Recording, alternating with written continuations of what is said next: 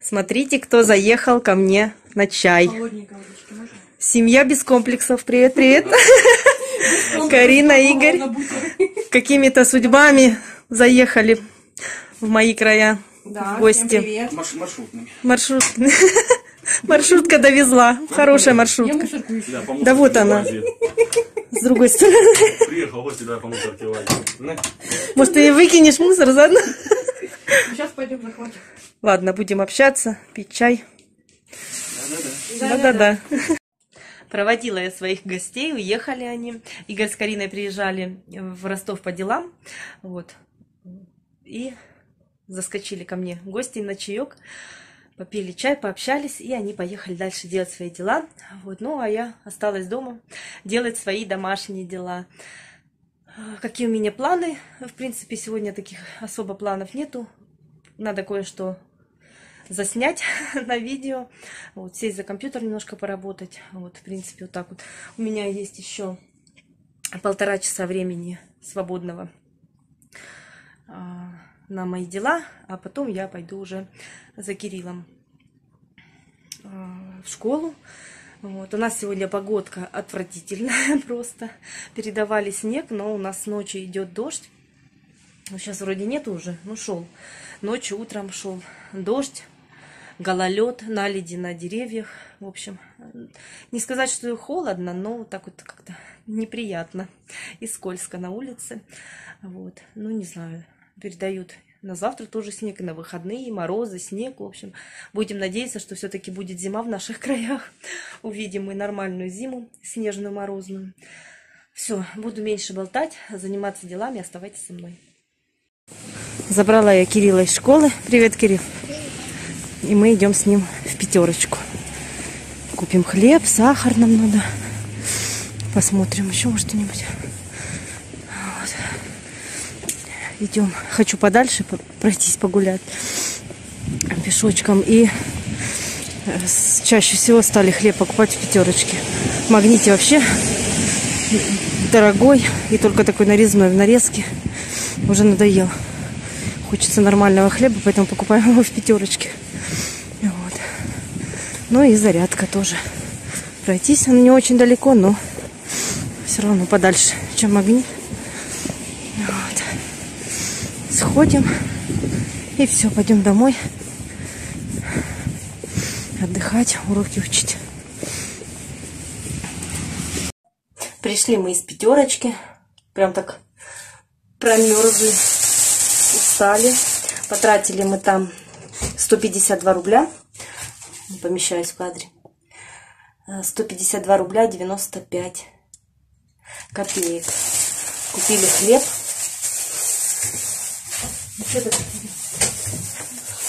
Купили хлеб вот такой, не знаю, что за хлеб, но он очень вкусный. Предположительно, это азовский хлеб.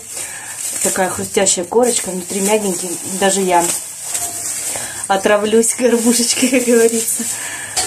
С маслицем. Вкусный хлебушек. Сколько он стоит, кстати? Хлеб.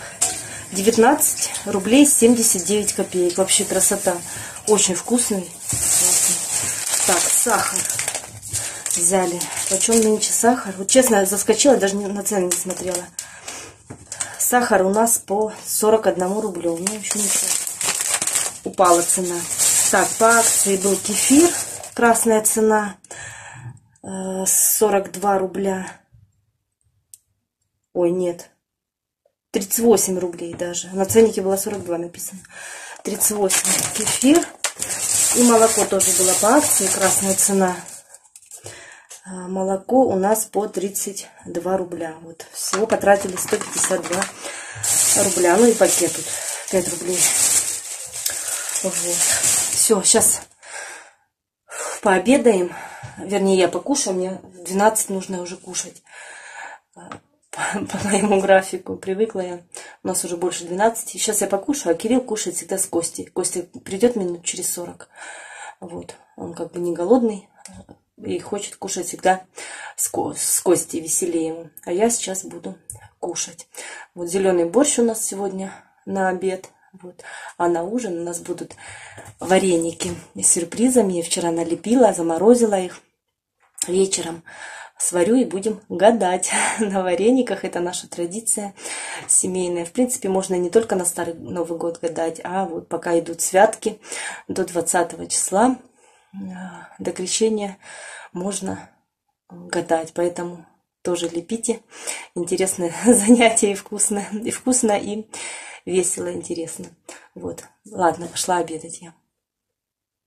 Не успела заснять. Тут Кирилл со школы принес вареник из пластилина. Ой.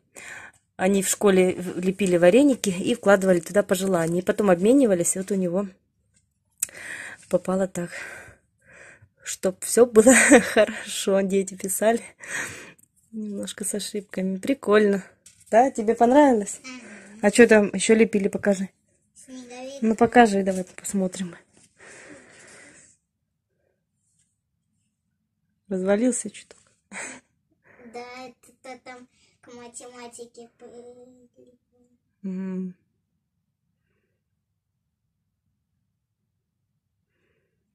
Ну-ка. Давай сюда поближе. Покажу. Ох. Может, у нас на днях снег выпадет. Слепим такого снеговика, да? Красивый. Снег идет, да? Ну, молодец. Ладно, переодевайся. Вещи на вешалку. Сидела я, сидела и решила свою драцену привести в порядок. Она у меня уже начала искривляться. Ее срочно нужно уже обрезать. Не знаю, как это правильно называется. В общем, я ее вот так вот сейчас отрежу. Вот.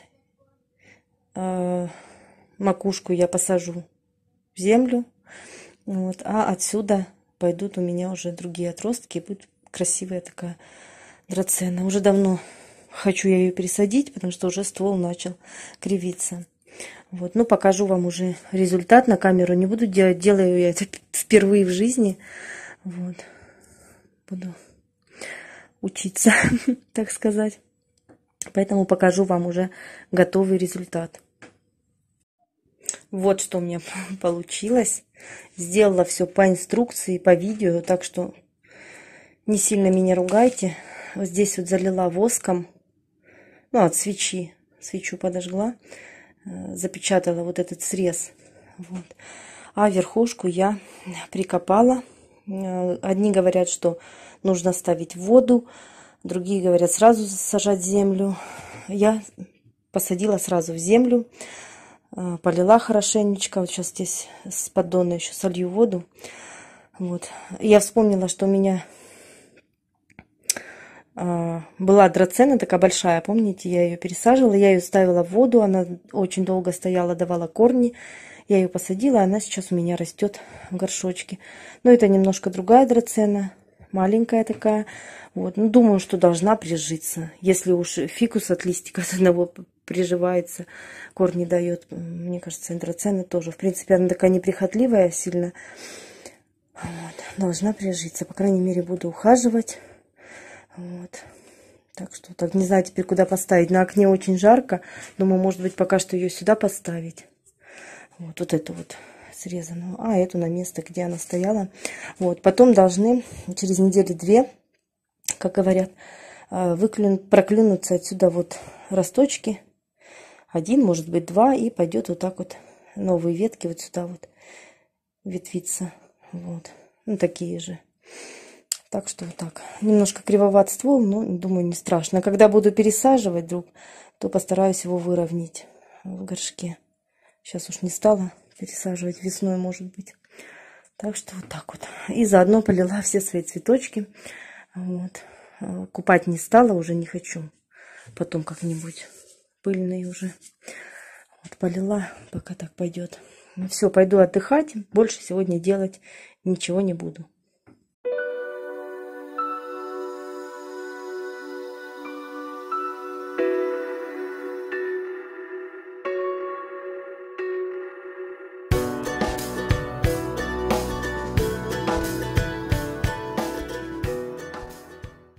Мы съели вареники, Кириллу достались перцы.